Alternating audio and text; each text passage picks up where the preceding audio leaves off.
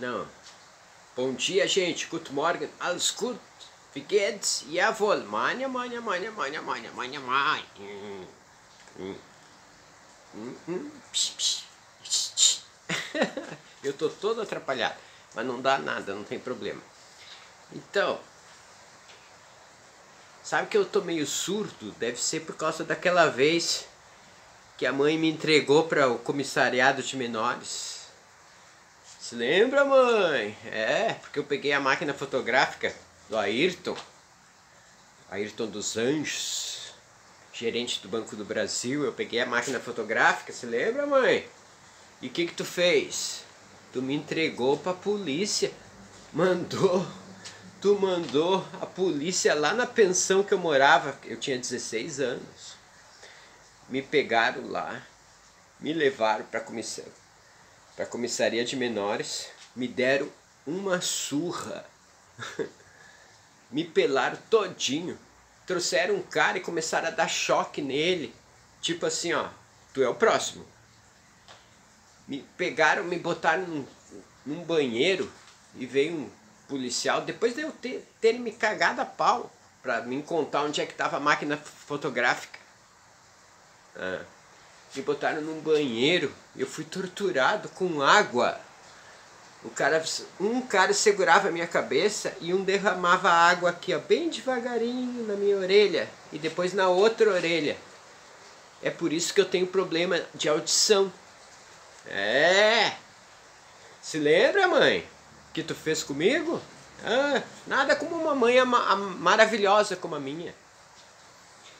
Depois quem é que me tirou lá da FEBEM. Quem me tirou?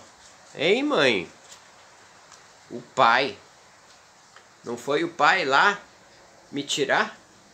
Quando o pai descobriu que tu tinha autorizado o delegado a me torturar?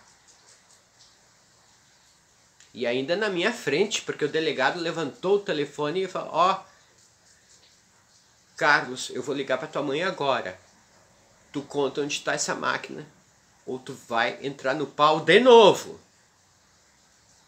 E a mãe atendeu o telefone e eu ouvindo a voz da mãe. Eu já tinha apanhado uma surra, eu estava super nervoso, com medo de apanhar de novo.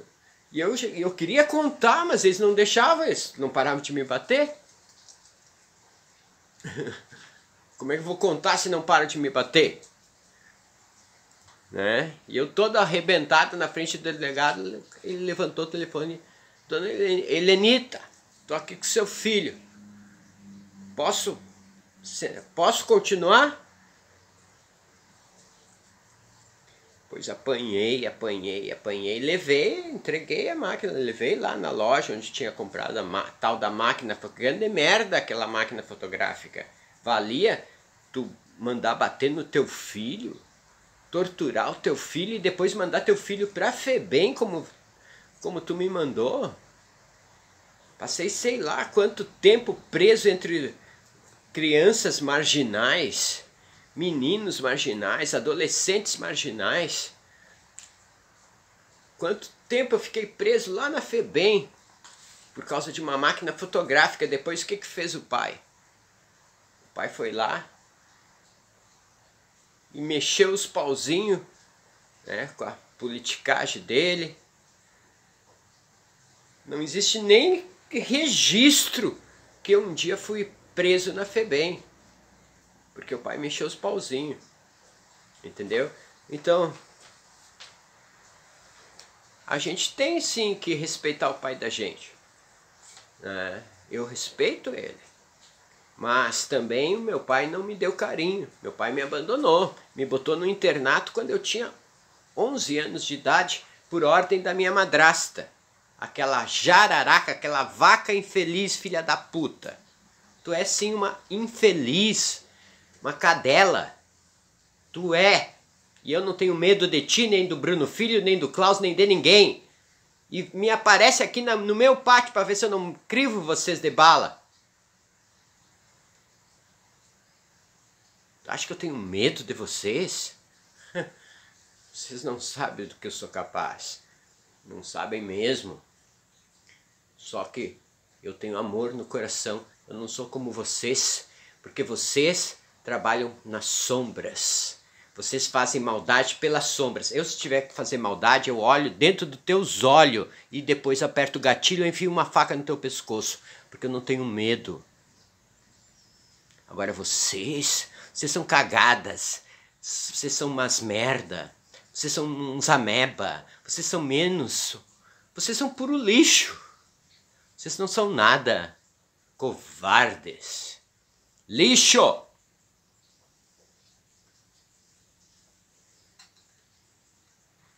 Mas eu também tenho amor. Eu tenho amor.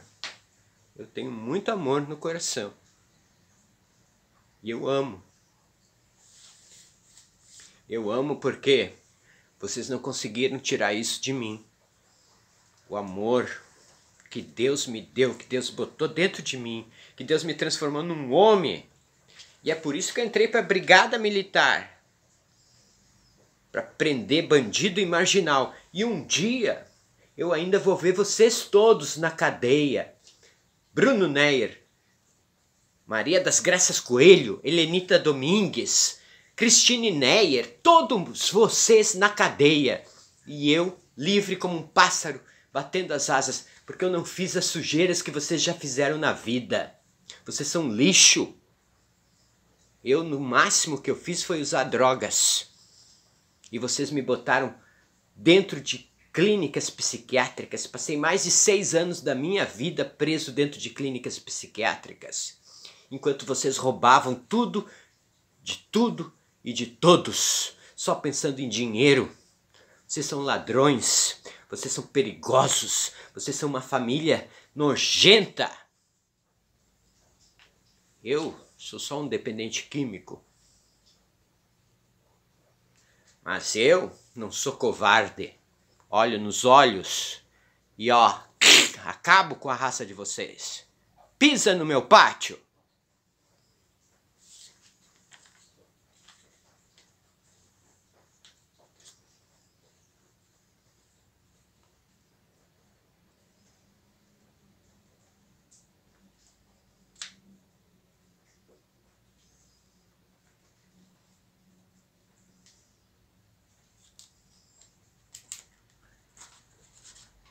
Enfim, vamos cantar para esquecer a maldade, né? Dessas famílias nojentas.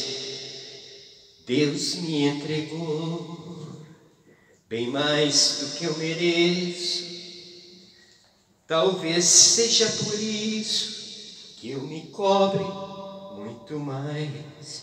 Não que eu não seja capaz, mas às vezes é difícil.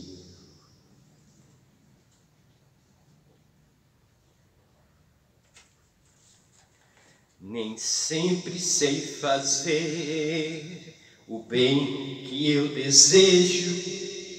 Às vezes eu me vejo me enganando sempre mais. Não que eu não queira acertar, mas nem sempre é possível.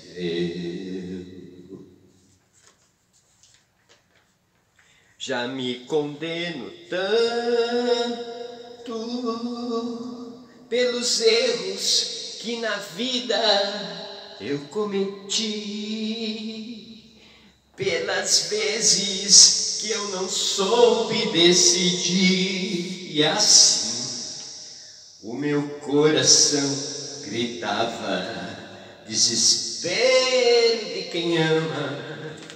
Coração, tu que estás dentro do meu peito me condenas desse jeito e eu não sei por qual motivo, se és divina, voz em mim. Só te peço, por favor, eu sou humano, não me condenes assim.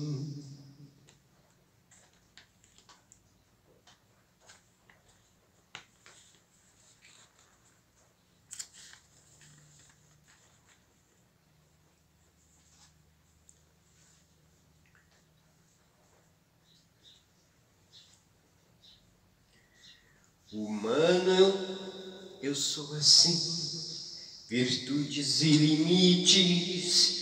Se agora me permites, eu pretendo é ser feliz, sim, prender-me ao que não fiz, olhando para o que é possível.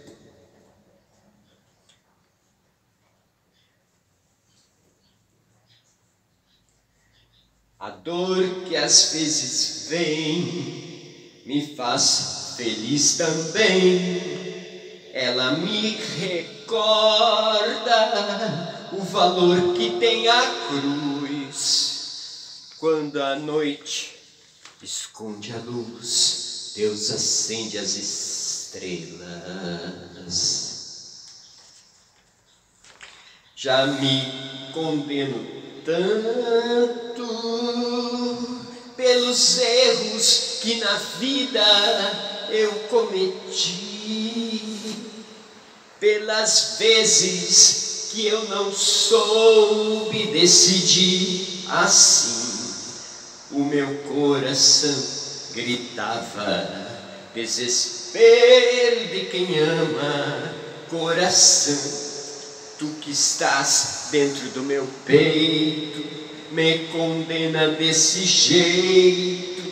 Eu não sei por qual motivo, se é divina voz em mim.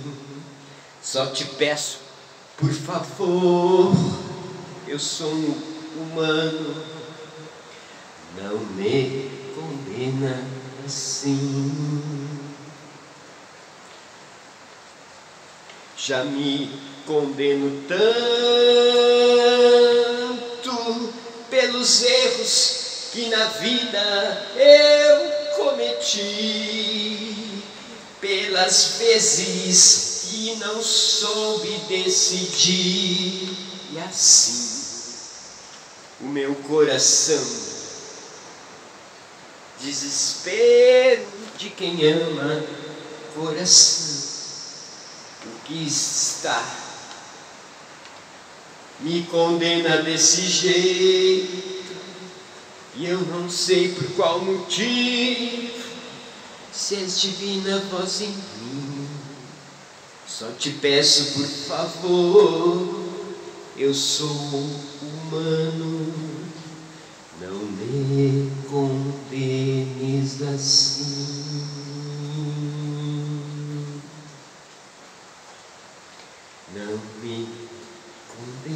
assim. Ah, desculpa aí, gente, mas é, não tem, né? Não tem como. Eu tô velho, tô irritado, tô magoado, sim, e pior, ainda com uma mediunidade aflorando de tal maneira que eu fico escutando os bons e os maus espíritos e eu não sei quando é um bom ou um mau espírito que fica me intuindo aqui, que dá vontade de pegar encher de tapa na cara esse espírito, porque não, ele não se mostra para mim e quer que eu saiba como, se é bom ou mau espírito. Pois eu vou descobrir, viu, safado? Se tu é bom ou tu é mau, eu vou descobrir, porque eu não desisto